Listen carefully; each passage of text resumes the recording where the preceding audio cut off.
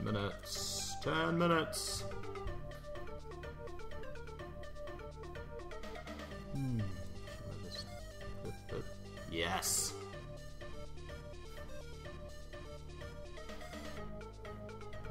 Alright. I'm actually gonna get. You collect weapons and upgrades along the way. Now, do those go from game to game, or is every game like a brand new game? Because, like, on one hand, I enjoy games that start fresh, like, uh, you know, like StarCraft or something, where it starts fresh every single time. But I also enjoy games where it's like, this is progressing, you know, and you've like built up this account that has, like, maybe you have to beat it with these five, one of these five ships to unlock the other ships. Or, okay, every game is brand new from the start. Well, that has its own validity. I'll definitely be interested in uh, shooting over to that. And it's and it's forty bucks, from what I've heard. And it's in beta or is it out? I don't know. I should just look it up. FTL. Okay, faster than light.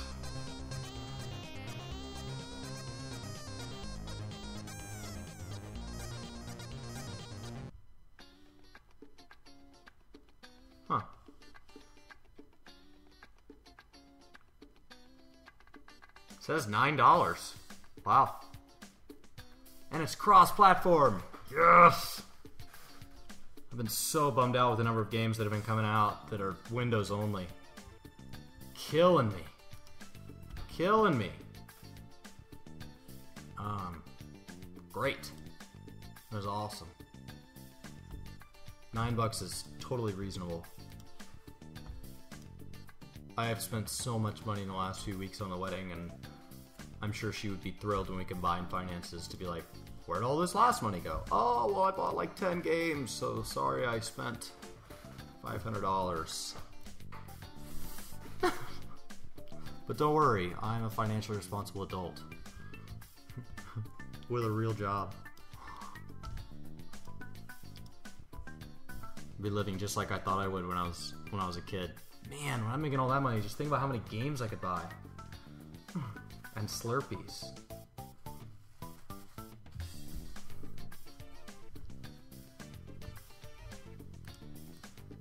Alright.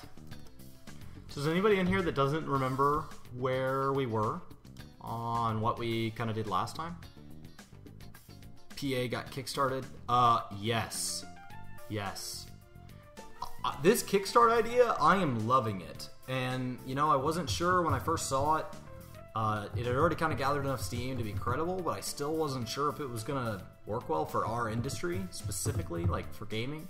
Um, but I, I think it's great. I think it's it's awesome that people can kind of opt in, and that's awesome. Okay, RCM Games. Um, Okay. Uh, then let me turn off this live warning and kind of show you around. So what we completed last time is we completed the track for our alcohol. So it it dumps everything here that's needed for alcohol. So that is your barrels, and uh, which is a common thing to forget when linking stockpiles to stills. They'll wonder why their stills seem broken, but they won't have barrels in the stockpiles, and it has to have everything. It's all or nothing. Once you link a stockpile, it can pull from nowhere else. So you have to have any odd materials that would be needed, um, such as fuels or containers or whatever's necessary for the good. And then it comes over here, and the first thing it picks up is all of our freshly planted things. Uh, And I split those into brewable and non-brewable foods. So the non-brewable is pretty much everything, and then the brewable I went through and I just made this whole brewable plants, and it picks up those, and then it heads down and it picks up uh, the same kind of thing from our trade depot. Picks up brewable plants and barrels just in case we trade for those. Then it goes down to my carpenter shop. Um, so it comes over here, does this crazy loop de loop.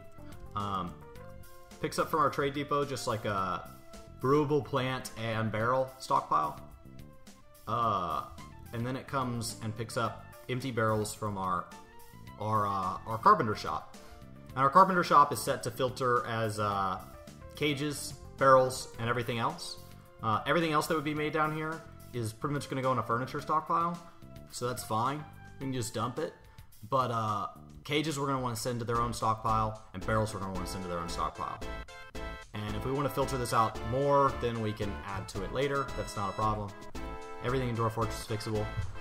And then it goes back on its way. And we picked that order solely from the mindset that um, plants, it, they go bad if they sit out in the field too long, and if they don't have anywhere to harvest to. And so once a minecart's full, it starts bypassing the other stops, and it'll just pick it up on its next lap. So we want the empty cart needs to prioritize the plants and then from there it needs to pick up more plants, and then from there barrels. Barrels are the lowest priority, uh, but eventually it would it'll pick it all up. So we got that done, and then we started, and we actually I think completed right before we got off the uh, wood stockpile. And the wood stockpile is a little different than other stockpiles because it's not going to have three stops one to dump, one to pick up from its primary harvest site, and one to pick up from the trade depot, which is its like secondary harvest site because you can trade for just about anything. So we like to build that in for later when we're just buying everything. And because wood is generally harvested from above your trade depot. So wood being harvested from the surface and from these layers up here is going to have to pass the trade depot anyway, so we'll just bring it down to the trade depot and we'll just store all our wood here. Um, and then that way it'll be quick. It can clear out those like six real quick, dump it there, and then that's the only input for a carpenter workshop. So that's a really simple, just like A to B minecart system. So, um, yeah, RCM, I think you even have a dwarf. I went through and I named. I didn't have anything to do during my precast one time. I was home early, and so I I precasted uh, naming dwarves after followers. So I haven't gone back through and caught it up. The only one that's died, I believe, is Scion. Um, and once I finish naming everybody, I'm going to make a spreadsheet. I'm going to start keeping death counts, and Scion will get re-added in as soon as I have more dwarves. I think I have more dwarves than I have followers right now, so he could actually get named as soon as I get that death count spreadsheet up.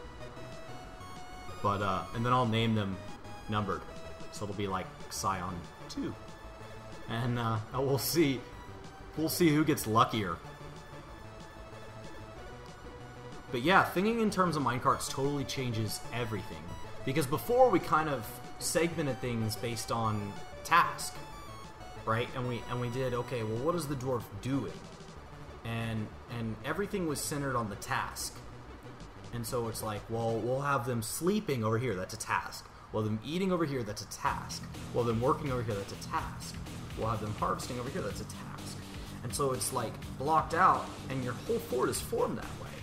And now that we can automate all the travel, we don't have to have the dwarfs travel that anymore.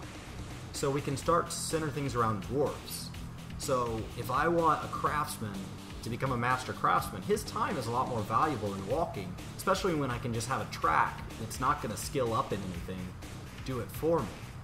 So, if that's the case, what all does he need to never be done? I want him to literally pick something up, work on it, send it over here. So he skills up fast, and once he is skilled up, I get the most output out of him as possible. So that I can have more dwarves free, so that I can kind of just increase the throughput of my entire fort. So these rooms that are next to it right here, um, these are the bedrooms. So he's gonna have his bedroom, and he's gonna be he's gonna walk all this all of three steps. He's gonna pick up from his his wood stockpile. He's gonna come over here. He's gonna make it, and he's gonna go drop it off in one of these, and that's it, done. And and out. I mean, he's gonna be contained to this like 10 by 10 ish space. So he really should never be anywhere outside of this 100 blocks outside of eating and drinking, which we could provide him with, but he needs socializing.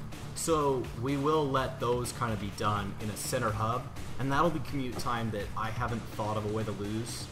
Um, maybe once a, other, a couple of the other casters kind of, maybe some of them kind of tackle this mindset and get their interpretation, maybe they'll think of a way to have like nodes where like use the burrow system, which I'm not horribly fond of generally, and maybe you use the burrow system mostly because I'm not used to it. Uh, to maybe combine like, and you just force all your masons to those are their relationships. So you just kind of have a mason burrow, and you could have all your different like stone-based things, and then they could have a hub. And then all your miners could live down, and they could have a hub. And then there's no connection between them because there's minecarts there. So maybe you're running half a dozen cities that don't really talk to each other, don't get used to each other.